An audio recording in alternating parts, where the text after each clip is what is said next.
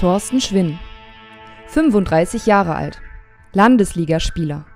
Weltranglisten Vierter. Behindertensportler. Und vor allem Teil des deutschen Aufgebots für die Paralympics. In London wird er als einer der besten Athleten der Wettkampfklasse 7 antreten, der Klasse, in der Spieler mit starker Beeinträchtigung der Beine starten. Schwinn verlor sein rechtes Bein mit sechs oder sieben Jahren.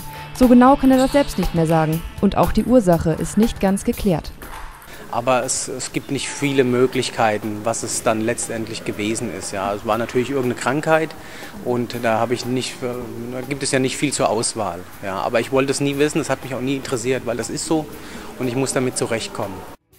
Für Thorsten Schwinn ist seine Behinderung keine Barriere, Sport zu treiben. Leistungssport.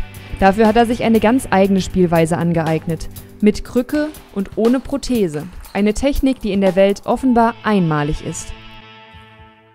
Die Art zu spielen hatte ich von Anfang an, bin dann aber mal vom Verband eingeschränkt worden, weil es die Regelung gab, dass ich eine Prothese tragen muss.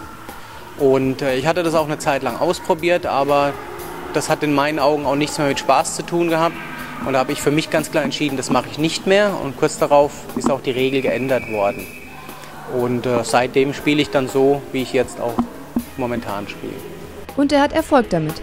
Seine Spielweise ist zwar äußerst kraftaufwendig, dafür ist er am Tisch sehr flexibel und überraschend schnell. Damit hat er vielen seiner Gegner etwas voraus und bringt mehr Bälle auf den Tisch zurück, als sie von ihm erwarten. So auch bei den Slowenien Open Mitte Mai, die ihn auf Rang 4 der Weltrangliste brachten. Eine gelungene Generalprobe für die Paralympics, an denen er dieses Jahr zum ersten Mal teilnimmt.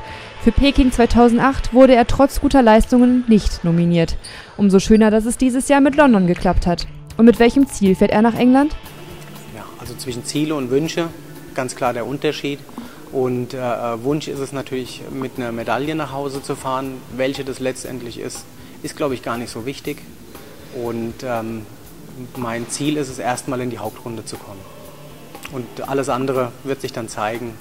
Alles, was mehr ist, ist ein Bonus. So schlecht stehen die Chancen aber gar nicht. Mit übermächtigen Chinesen hat er es in seiner Wettkampfklasse schon einmal nicht zu tun. Und sollte es im Einzel nicht klappen, wartet ja auch noch der Teamwettbewerb auf ihn. Alles Gute für London, Thorsten Schwinn, wünscht das My Tischtennis Team.